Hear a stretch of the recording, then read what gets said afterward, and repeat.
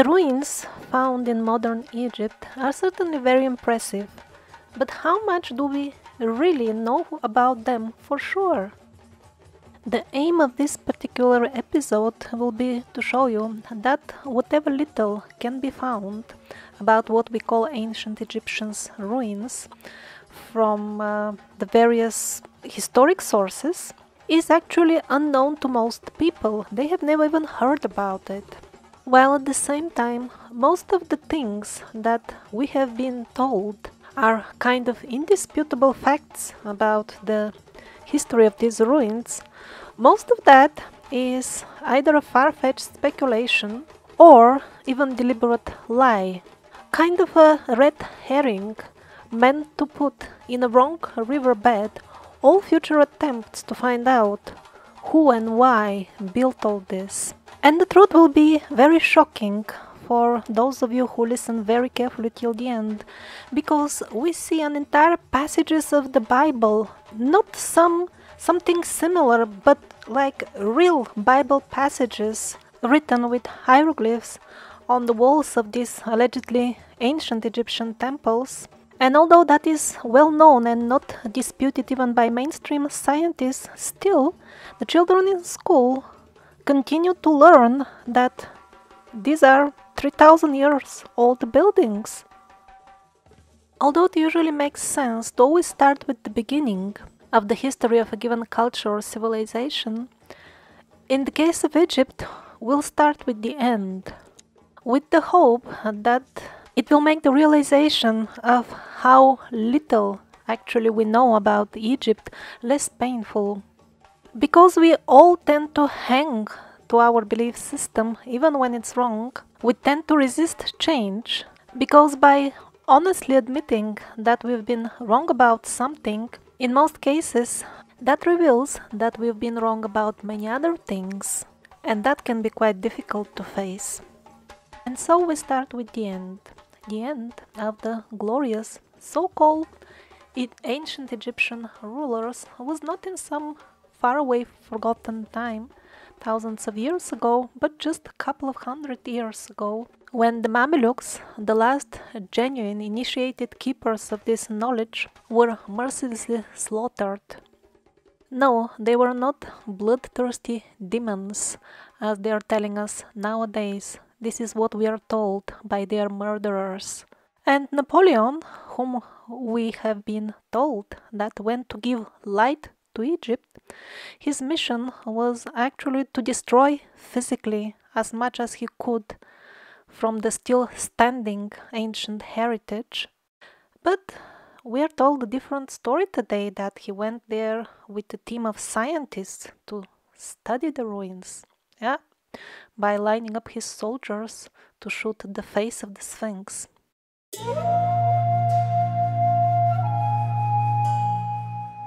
This is a 500 year old map, or a copy of it, kept in a museum in Nuremberg.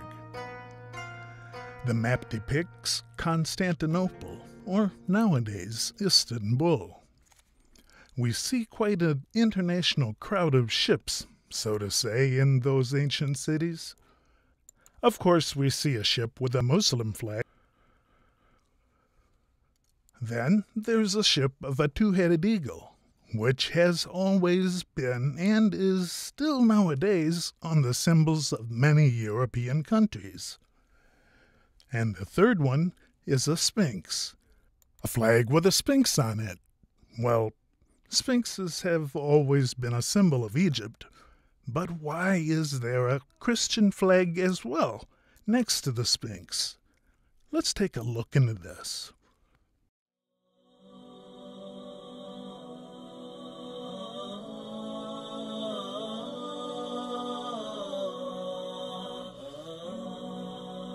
When modern historians talk about the Mamelukes, these are the type of images they show us, while the contemporary artists depicted the Mamelukes in this way. So, as it is clearly visible from the mummified bodies found in the historic Egyptian burials and from the depictions on the walls of the temples, The people who built them were a really international crowd. Clearly, there were dark Africans, there were tanned people, there were blonde Caucasian people, everything was there.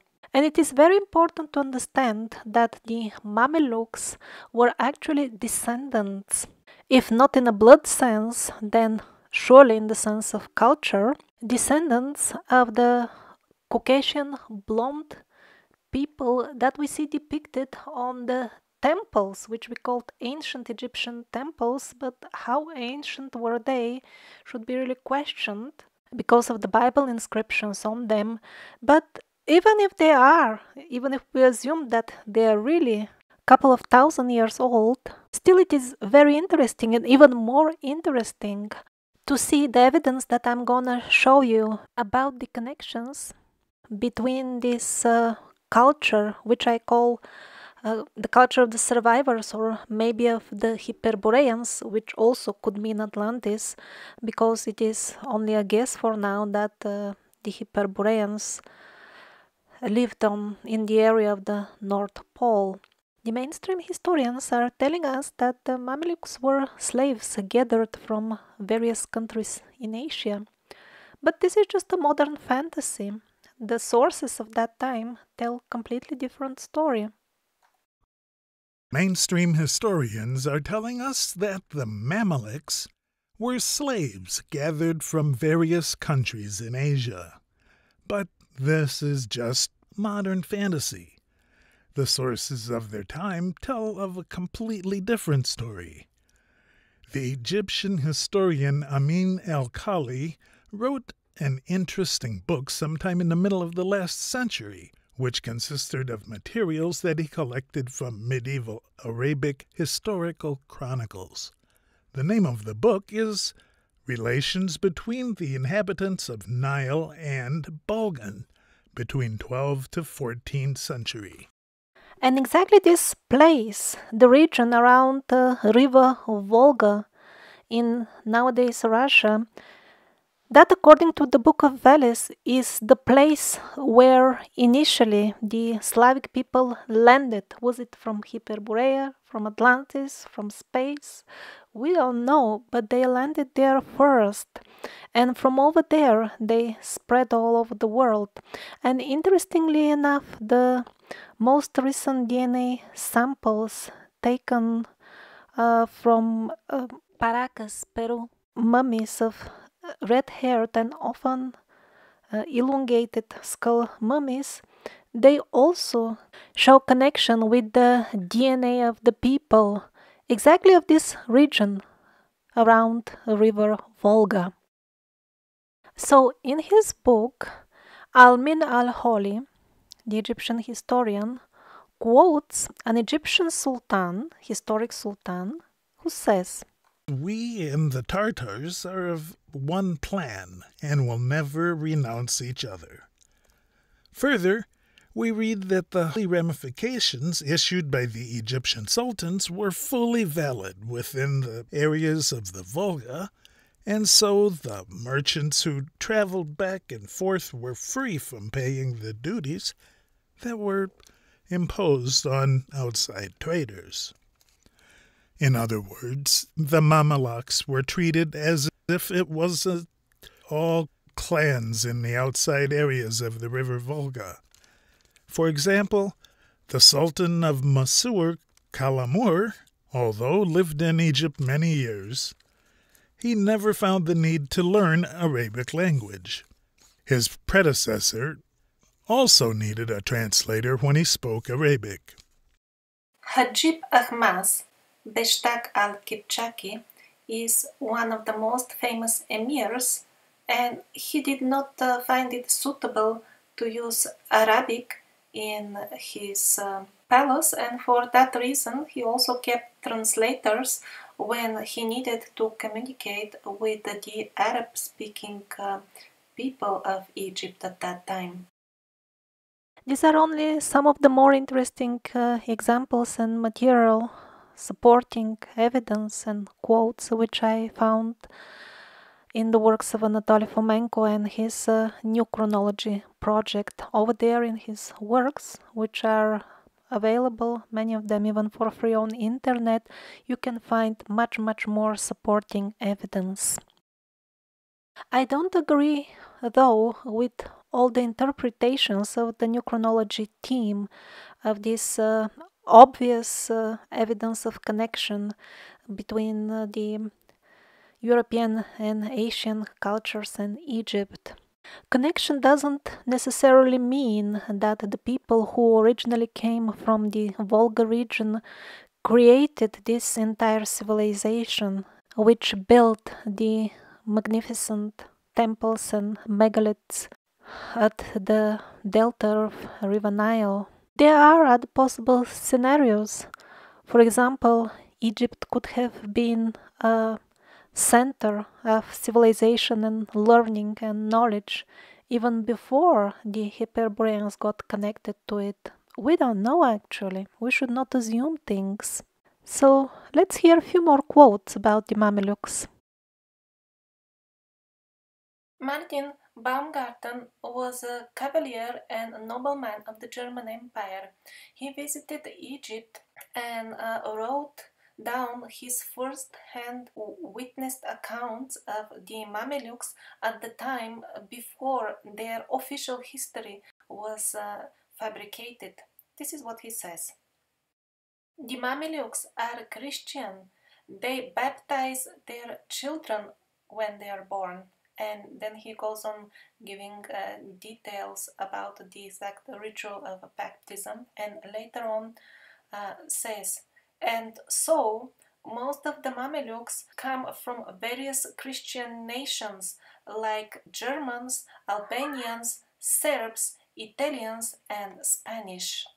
Now, let's see how Martin Baumgarten describes Ali Bey, the factual ruler of the Mamelukes that he met himself, and um, tells us about uh, how he looked like. Ali Bey was around 45. His face was long and reddish. He was blond. His eyes were big and very clear.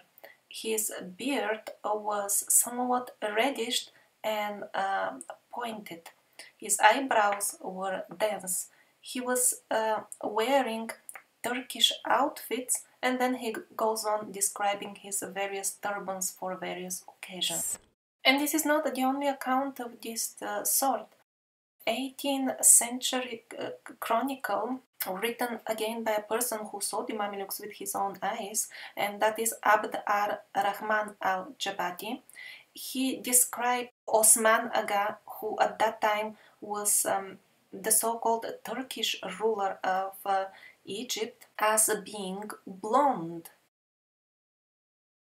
This uh, photograph is taken in year 1905 and these are the daughters of the Egyptian Khedive Abbas Halim, Halimi Pasha who was remotely uh, related to the Mamelukes who were, who were wiped out some hundred years earlier. It illustrates what was the result of mixing Mamelukes with Arabic people.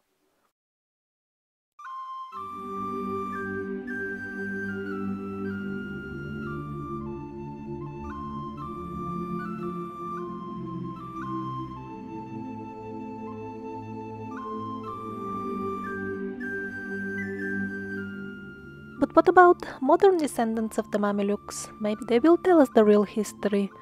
Or it will be interesting also how would they look like. Well, there aren't any. All the Mamelukes were slaughtered by those same colonial forces which slaughtered the samurais of Japan, the red-haired people of Peru, and all other communities which kept some of the old knowledge and old history. It's very convenient. When you kill them all, then you can make up any story you wish about them, and there will be nobody to object.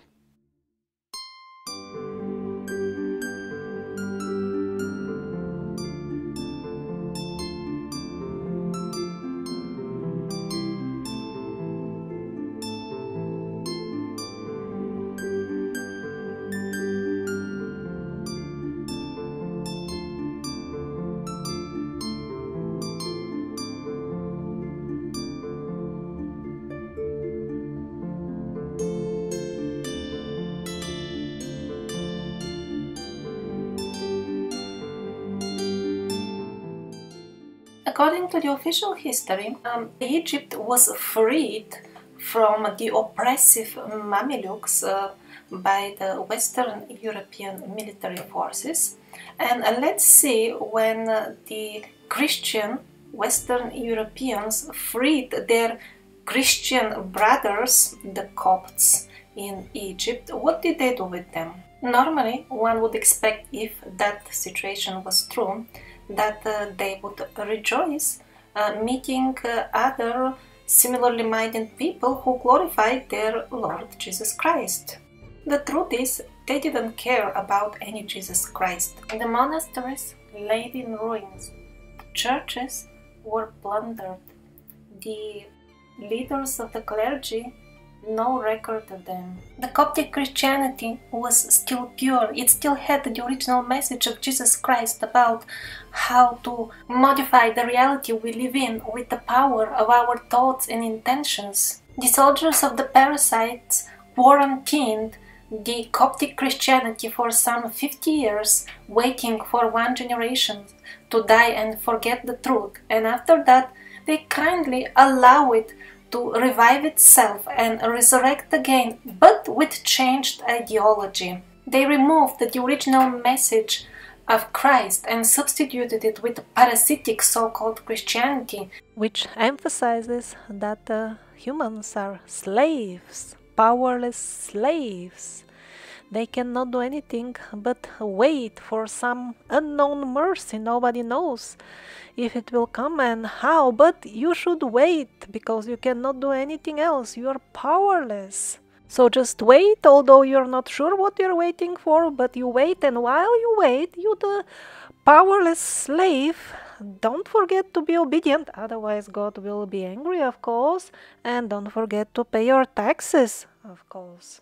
And all these philosophies are far away from the original teachings of Christ, who taught powerful techniques of learning how to use the magical powers which we all have. The ideology of the early Copts, those uh, before the Copt Reformation by the foreigners, their ideology was so near to the Egyptian ideology, or at least as much as uh, we can find out about it from the translated hieroglyphic texts, that even mainstream sources don't deny that the Copts are direct continuation of that line of thinking. But how could that be possible if uh, the so called ancient Egyptian uh, culture, which uh, had that ideology, thrived thousands of years ago and the Copts relatively recently.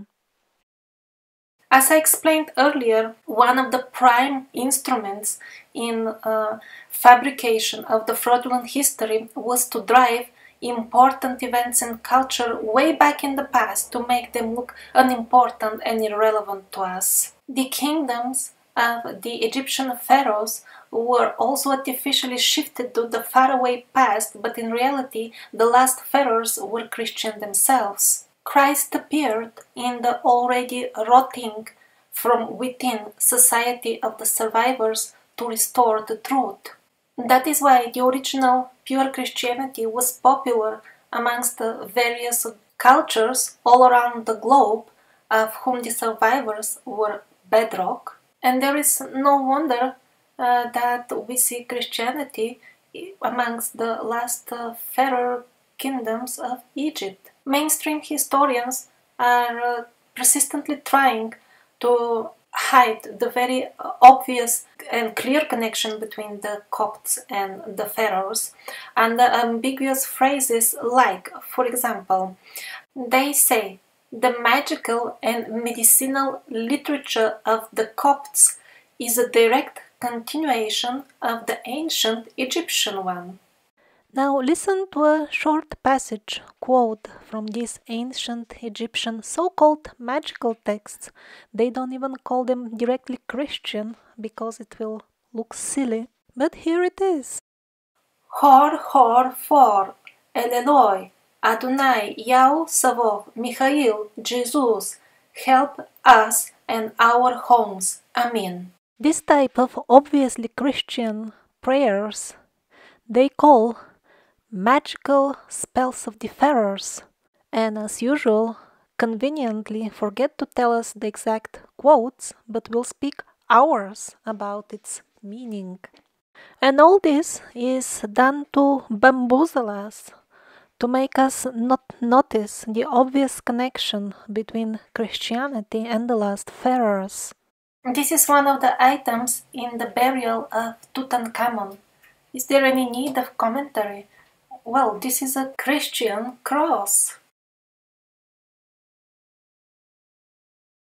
This could have been the dagger of the young Pharaoh Tutankhamun. It is decorated with European animals. But of course, we are not sure if it was really his because this uh, full uh, story with the alleged discovery of his tomb is uh, fake. But still, some of the artifacts are genuine, not, not sure which ones exactly and probably they were taken from another tomb in the vicinity of the actually forged tomb of Tutankhamun. Again, the team of Anatoly Fomenko studied this um, tomb of Tutankhamun. They went there a few times, and I think they have uh, the best resources on this matter because many have uh, discussed the possible forgery of this uh, alleged tomb discovery. Everybody knows that many of the ancient uh, Egyptian uh, paintings, or maybe at this point we should uh, stop calling them ancient, but since they are famous as being ancient, excuse me if sometimes I still say that by mistake, so those are full of crosses, and if uh, somebody still doubts that those crosses by chance look like Christian crosses, here on this one you can see the Christian cross, and in it, this is not exact the time when supposedly some uh, ancient Egyptian temples were subsequently converted into churches, as the mainstream historians cunningly try to convince us. Here is another Christian cross that they have uh, forgotten to hide, and it's still visible amongst the ancient Egyptian uh, hieroglyphic uh, signs. And this is another one laying uh, there in the corner in one of the ancient Egyptian uh, temples. Two ancient Egyptian statues with Christian crosses on their back and these are Coptic images. The crosses are very, very similar to the Egyptian crosses.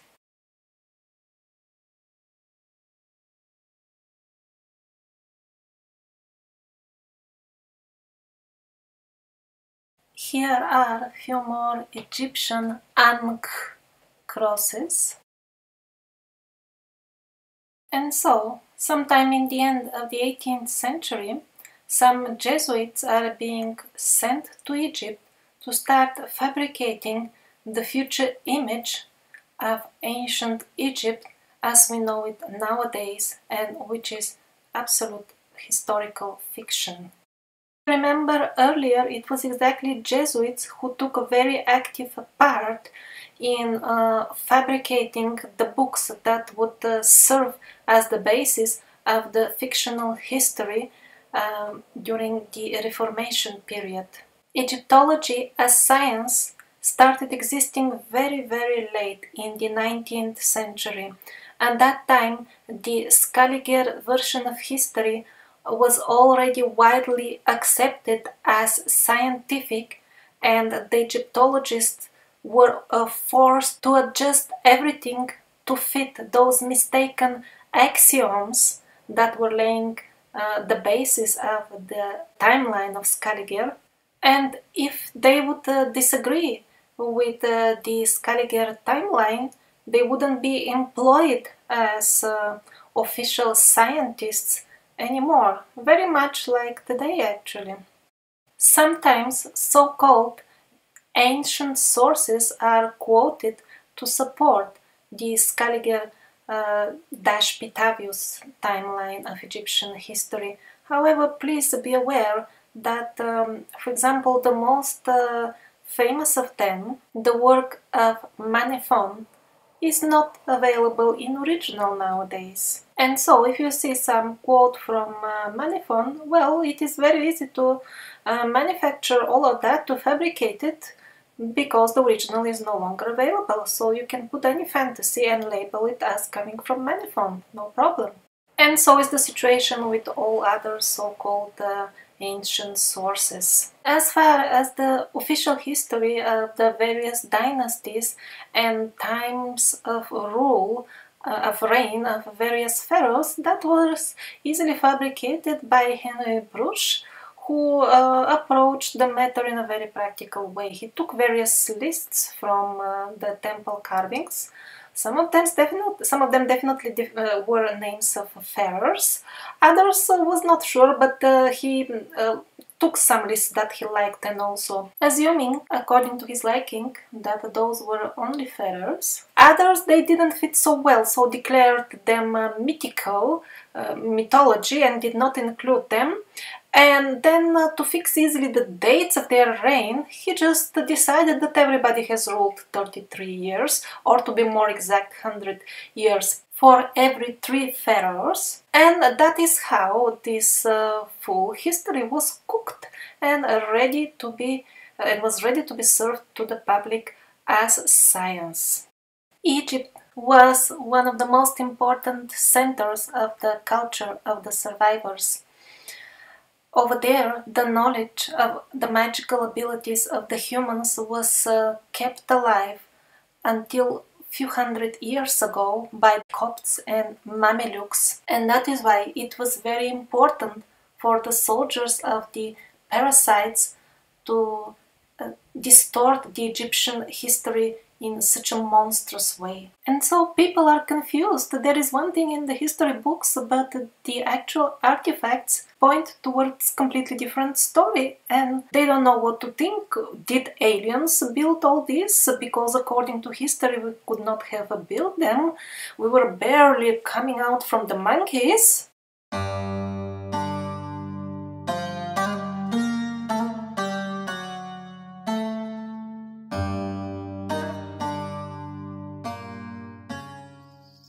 The myth that it was Champollion who deciphered the hieroglyphs is very popular.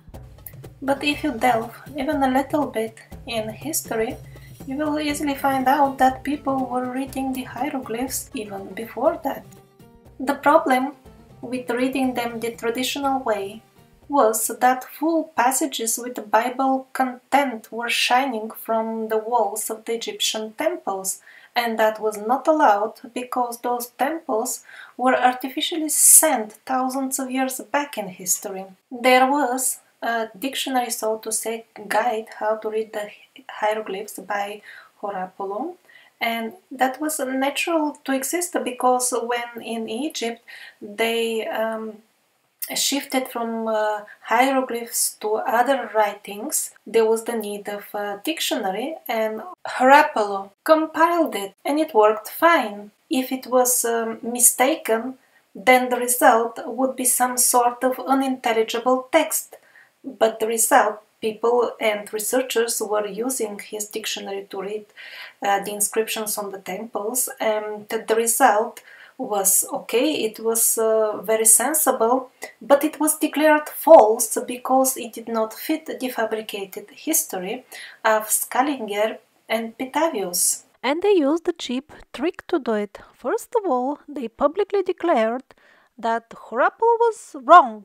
He's just wrong. That was done, of course, using the usual magical mantra the scientists said, because modern people will believe anything if uh, this mantra is put in front of the statement. After that, it was publicly, uh, with and very loudly announced that Champollion, hurrah, hurrah, has finally deciphered the hieroglyphs. And after the society was informed about that and believed it, then, without much publicity within the scientific society only, it was confessed that, oh, but Horapollo was a right after all about so many things. And what are these so many things? Well, practically everything besides uh, the most uh, essential points, the most essential things which they wanted to hide from people, like, for example, details of how the ancient Egyptians manipulated energy, so that we can't learn that as well. Also, they changed the meaning of some words which clearly showed again and again that uh, the last pharaohs were Christians. But that worked only partially, because even in modern news, even very recently, again, oh, new discovery, and yet another Bible text word to word inscribed on the ancient Egyptian temple wall.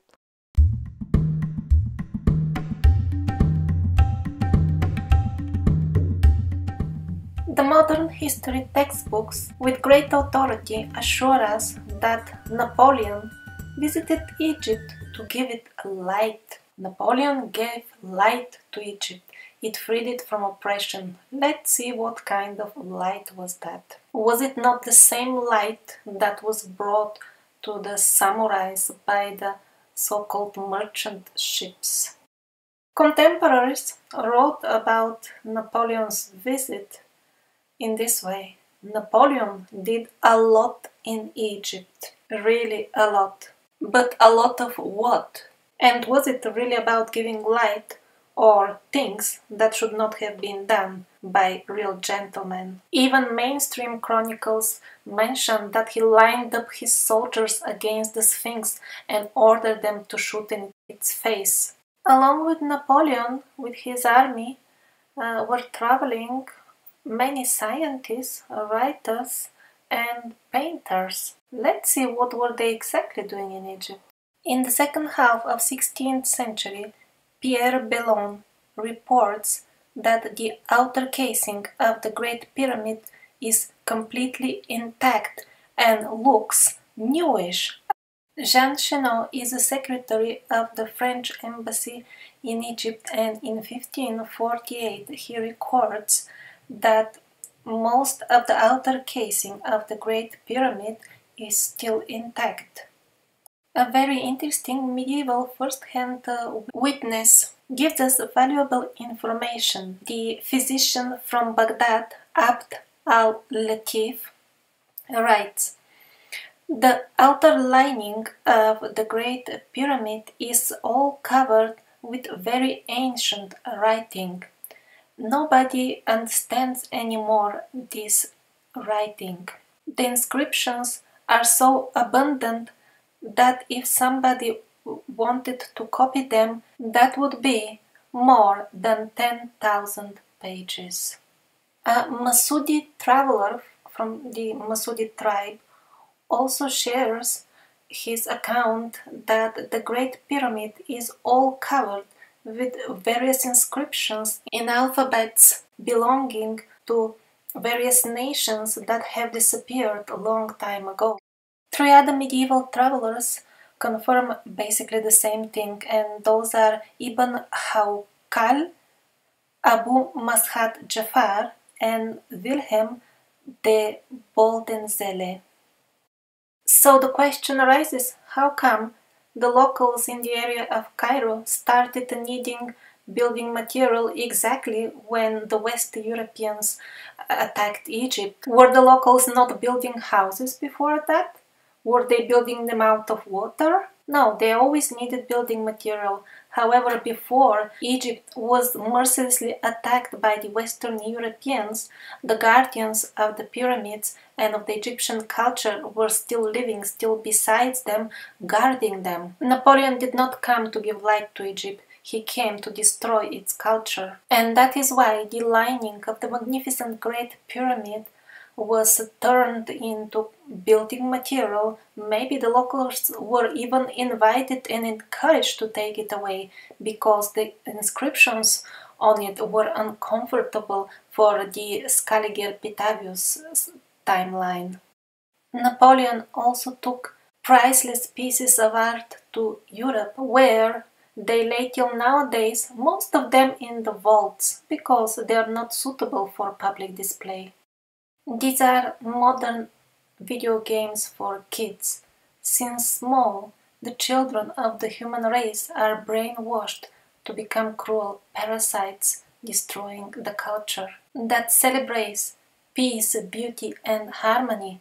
They are trained since childhood to accept the parasitic, ugly, violent, cruel existence as something natural. These particular video games replicate exactly this historic period of the time when Napoleon raped Egypt. The modern kids are encouraged to take a virtual part in this shameful event, and when they grow up, they will be already trained in going to foreign lands to destroy peaceful cultures.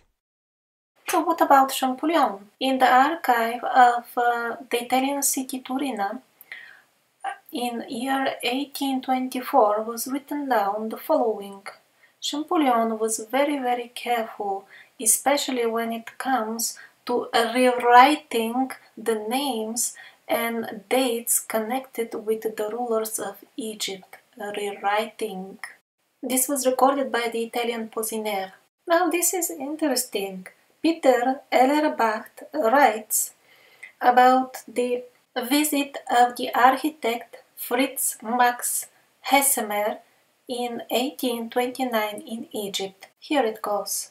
I was very unlucky that I ended up in Egypt right after Champollion. What did that guy do over there? The tomb of Fever was one of the best.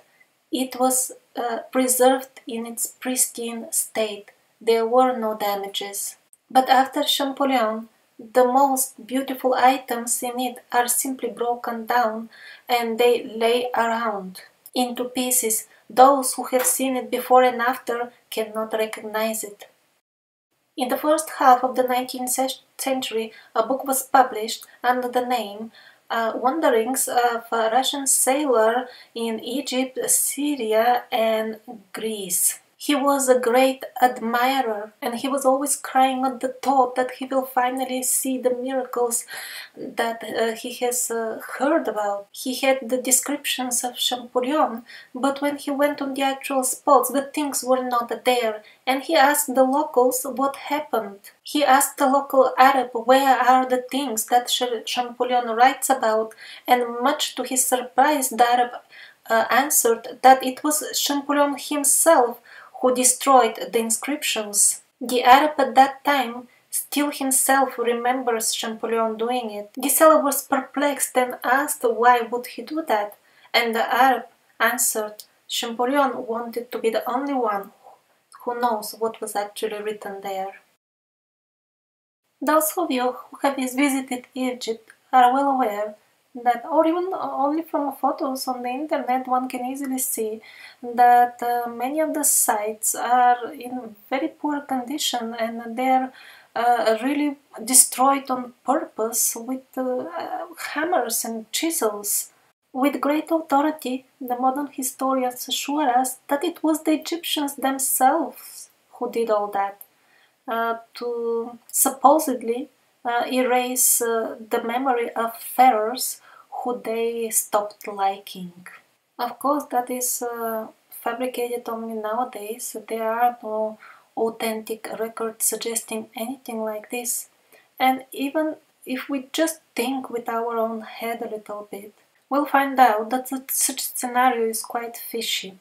Why? The Egyptians obviously took great uh, care of decorating the world around them. They liked beautiful things, it's obvious from the items and buildings that they left behind. Obviously, they were not people that were devoid of artistic taste. And now, in case such people really wanted to get rid of the memories of a particular pharaoh, do you really believe that they will break down their beautiful buildings in the middle of their main squares with uh, in a most barbarian way with uh, hammers? Wouldn't they just uh, chisel out the name of the pharaoh and substitute it with uh, something else? Most likely this savage destruction of the beautiful egyptian buildings started when uh, the europeans came to bring light to Egypt.